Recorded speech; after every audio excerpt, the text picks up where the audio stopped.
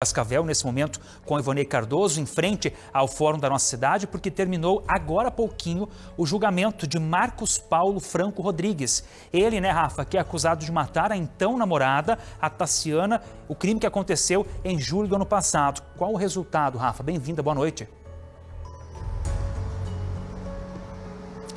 Oi, Wagner. Boa noite para você, boa noite para o pessoal de casa que nos acompanha. Pois é, a pena que foi estabelecida é de 30 anos de prisão em regime fechado. Para a gente relembrar um pouco esse caso que marcou muito aqui a cidade de Cascavel, pela maneira como aconteceu, a gente tem uma reportagem realizada pela Daiane.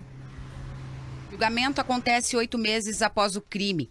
Marcos Paulo Franco Rodrigues, de 31 anos, e a jovem Tassiana Gomes dos Santos, de 26, mantinham um relacionamento curto, há apenas alguns meses até o dia do crime. Era 8 de julho de 2023, um domingo. Tassiana foi até a casa de Marcos e de lá desapareceu. O crime foi registrado por câmeras de monitoramento. As imagens fortes mostram o momento que ela é arrastada para o meio do mato ainda com vida. A jovem tenta escapar, grita por ajuda, mas não consegue. Após ser arrastada já no meio do matagal, ela foi morta. O último contato feito por Tassiana foi por mensagens enviadas para uma amiga pedindo ajuda, dizendo que Marcos estava louco. Na sequência, ela enviou a localização da casa. A amiga foi até o local, chamou, mas não encontrou ninguém Imagens também mostram o momento que as amigas chegam no local, cerca de um minuto depois de Tassiana ter sido arrastada para o mato.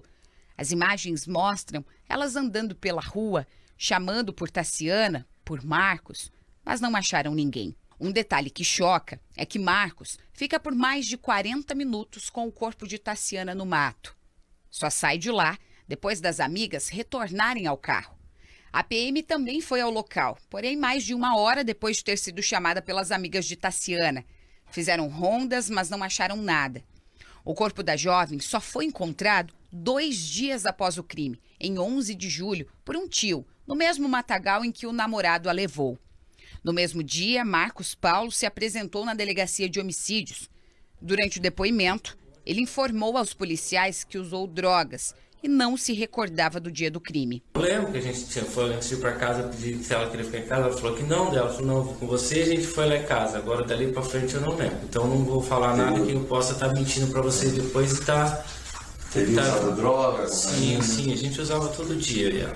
Todo dia? Todo dia. Após matar Tassiana, Marcos fugiu e foi para Toledo. Eu dei uma volta atrás das flores de cima e fui embora. Só que eu não me preocupei. Foi embora?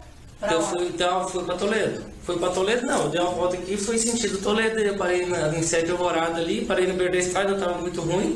Hum. E parei na Verde Estrada e fiquei ali. Até eu dormir.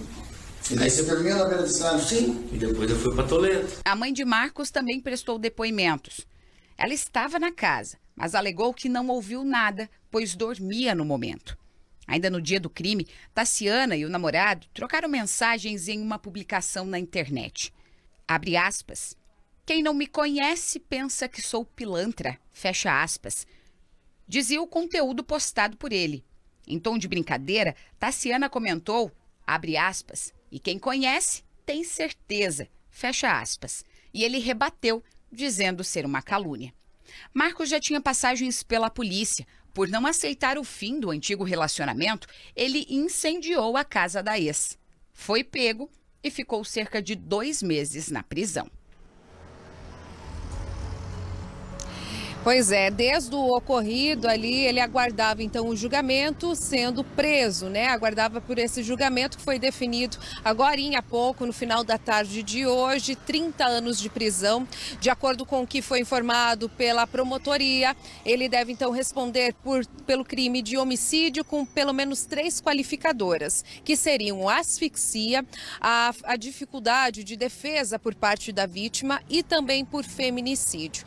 De acordo com com o promotor Alex Fadel, a defesa aí é, do, do acusado teria já recorrido para tentar pelo menos diminuir esse tempo de prisão, viu, Wagner? É importante a gente frisar, como ficou claro no material, inclusive, né, Rafa, que ele não é réu primário, já tinha cumprido é, pena, ficado preso aí um tempo por esse outro atentado contra esse companheiro, ateou fogo contra a casa dela, então agora é um pouco mais complicado. A defesa mesmo tendo direito a recorrer, como você disse aqui pra gente. Obrigado, já volto com você, tá? 6 horas e 7 minutos. Eu quero você de casa participando conosco de qualquer lugar desse estado, onde quer que esteja nos acompanhando, no oeste, no sudoeste, de outras regiões, pela internet também, de outros estados, outros países. Obrigado pela moral, tá? Daqui a pouco, inclusive, eu quero a sua participação sobre um assunto polêmico, mas eu te falo já já. Fica comigo, eu tenho certeza você vai concordar em algum ponto com um detalhe curioso que aconteceu aqui na cidade de Cascavel.